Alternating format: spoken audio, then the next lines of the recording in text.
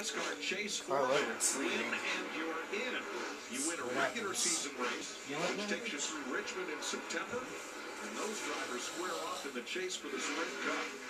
Edwards has picked it up. It's back to a second and a half over Biffle with five to go. Oh, that's the problem. You know, you got to run hard enough to win this thing. You can't let Biffle catch you and pass you. That does you no good. So you got to run out. You got to run hard enough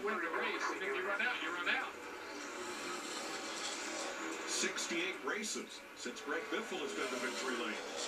This is a victory for Greg Biffle. yeah. No matter what happens. That's almost two years of racing. June at Michigan, 2013. And Dale Earnhardt Jr. in third, still seven seconds back. Not making any ground on the leader, nor is Matt Kenseth or Martin Truex fourth and fifth. Yeah, Dale Earnhardt Jr., he's just standing in the betting line that Edwards and Biffle will both run out of fuel.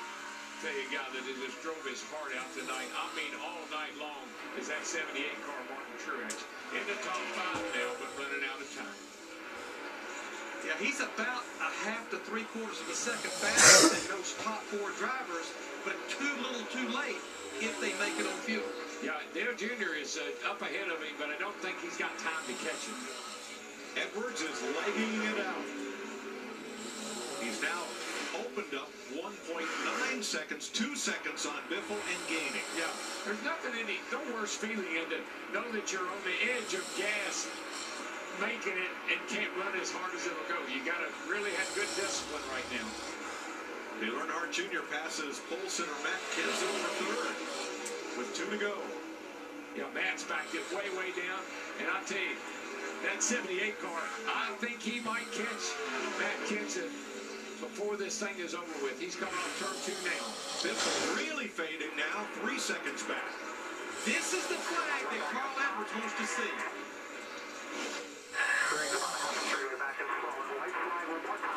One more time, baby, if you can do it. Biffle four seconds back. Earnhardt may catch him.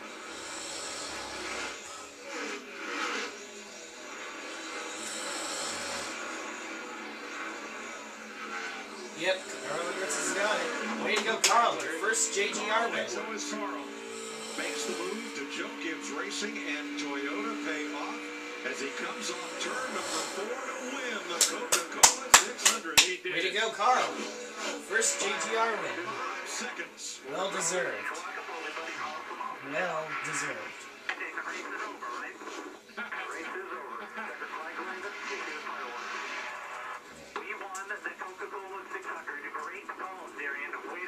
First uh, win with JGRs. My bad. Just so people Edwards' won't get 24th confused. career victory, with what I and mean. it ends a third What I mean by that race is, yes. First Going back to win several the last two while driving for JGR. And it's his first Charlotte win. His 21st try. Team President J.D. Gibbs in the white shirt. Great to see him at the track for the second week in a row because they go to victory lane two weeks in a row here. Well, yeah, won the All-Star race last week with Denny Hamlin and come back and won the 600 tonight. Joe Gibbs leading a team prayer on uh, Hey, pit road there. what do you say? We haven't seen this for a while. Flipper Hey, Been almost a year.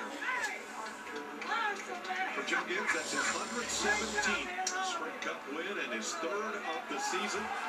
Second in the 600. Here we go. Here comes the backflip. Woohoo! still did it. Nailed He can it. still do it. Can still do it. What a win for that team. Sunoco fueling victories. Sending Joe Gibbs Racing Father and son right there. Joe and JD. and Carl Edwards to victory lane. Now he's going to come capture the flag. And he's headed No, for the stands. You know what? He used to Yep. do. He used to go up in the stands and hang out with the fans. He's going to do it tonight. How about that? That a boy.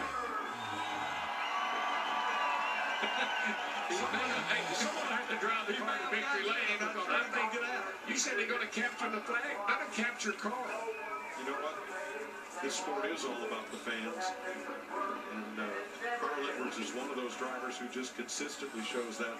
Does a lot of fan appearances and events. He once, and I'm reminded of our colleague Steve Byrnes, late colleague Steve, who had one of the cards that Carl used to carry when he raced at the short tracks in Missouri. And it said, Carl Edwards, with an address and a phone number if, and his picture. If you're looking for a driver, you're looking for me.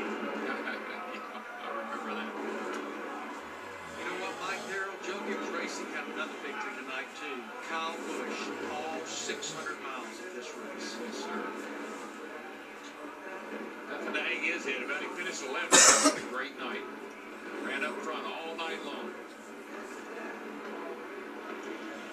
A number of guys, Larry. I mean, think about the Biffle. Bill Jr. finished third. There's Kendall Small back from fourth. Truex got back to fifth.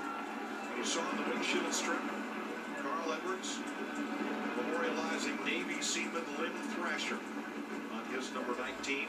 Carry that name with him to victory lane. Joe Gibbs Racing finishes first, fourth with Kenseth, eighth with Denny Hamlin, and 11th with Kyle Busch. Yep. Big night. I tell you, they came over here last week. We saw that with uh, Hamlin winning that All-Star race, and we knew these guys had something special for this weekend. And boy, they displayed that. Pictures, and bios of all the servicemen and women memorialized tonight at foxsports.com. Click on the link on the front page. Carl Edwards wheels it to victory lane after his signature backflip winner of the Coca-Cola 600.